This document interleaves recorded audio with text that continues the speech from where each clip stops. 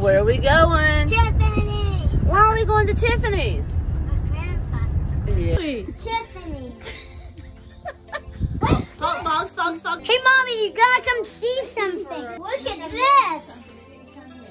Here it is. Oh my gosh, it's taller than you. What do you think, Fox? Cool. This is even bigger than me. Let's camp. Go. Just don't go too fast, okay? Why? we'll keep your clock Why? safe. Cause this clock may but but that clock. Oh. How's the clock doing, Fox? Uh, you're setting it. Thank you, Tiffany. You like it? Yes. Actually, I don't like it. I love it.